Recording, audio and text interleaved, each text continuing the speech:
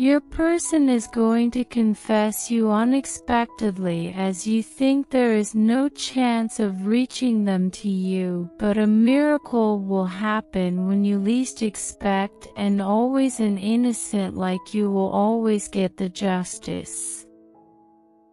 It may be yearly or later so you divine justice is coming for you the person who left you in hurt they will confess their mistakes their foolishness to hurt you and who loves you the most with the tears of eyes.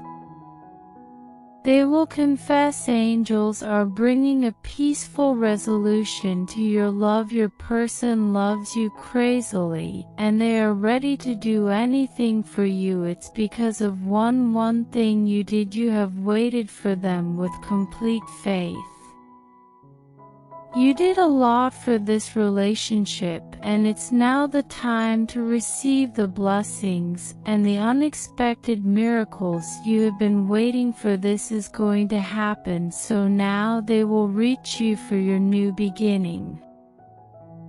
They are trying to become the best version of themselves so they can have a loving and supportive partner.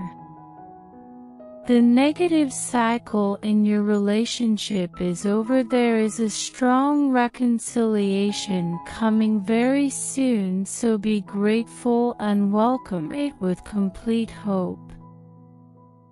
So be grateful you are in your safe and healthy relationship. Be grateful, affirm I'm grateful that my person cares me, loves me, me genuinely. I'm blessed with the best. Thank you, angels. Thank you so much. Thank you.